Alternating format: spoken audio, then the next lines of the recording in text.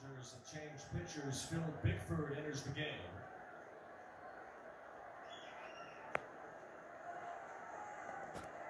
For a 4.37 ERA on the year for LA, facing the great Pujols, who is one swing away from 700 career home runs.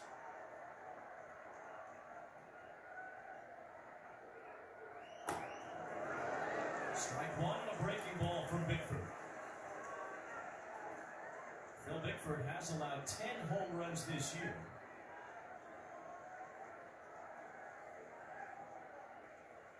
This entire ballpark is on its feet, holding its breath for Albert.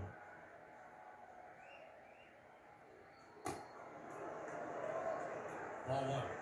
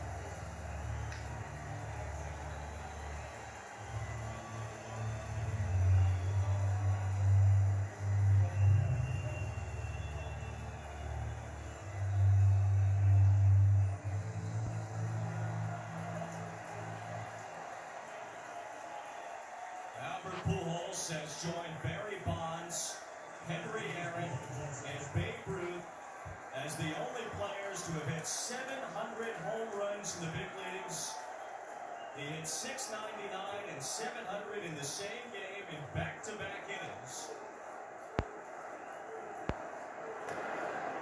He has driven in five runs. Isn't that perfect for number five to give the Cardinals a 5 0 lead with his 700th career home run here at Dodger Stadium?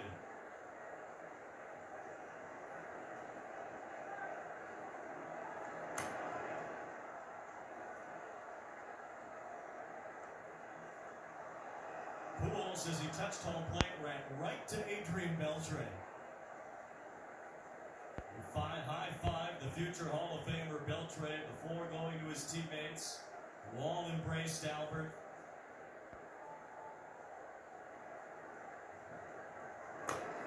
Goldschmidt strikes out as the top of the fourth inning brought us baseball immortality. History for Albert Pujols. The swing that produced career home